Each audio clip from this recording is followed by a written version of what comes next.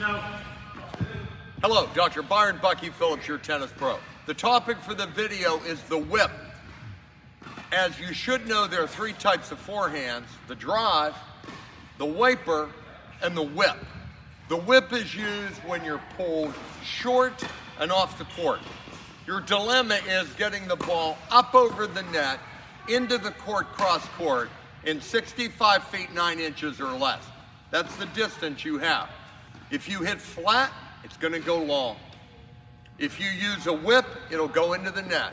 So Sandra is going to show us three whips. You have a vertical racket face. You drop the racket real low.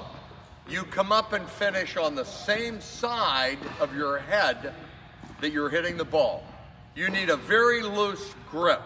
I like holding the racket tighter with the index finger and the thumb. Let it go. All right, Sandra, three whip. Ball. Terrific. Ball. Yes. Perfect. Ball.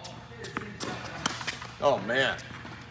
In that video, she did an outstanding job of showing you three buggy whips so that when you're pulled short and wide, you can respond with a cross court, highly spun ball that travels 65 feet, 9 inches or less. Click the link at the bottom, call us for a lesson, subscribe to the channel, practice.